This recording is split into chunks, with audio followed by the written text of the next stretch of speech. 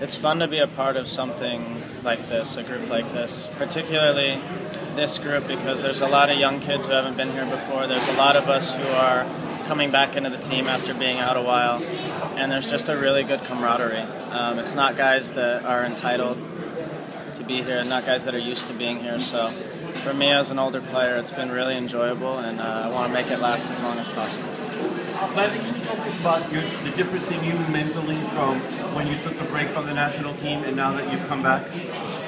I'm enjoying myself, and when I enjoy myself, I play better. So for me, it's very simple. Um, take the anxiety out of it, realize it's a game, and enjoy it. Why weren't Last you enjoying one. yourself? I think I was putting too much pressure on myself. Thanks, guys. All right.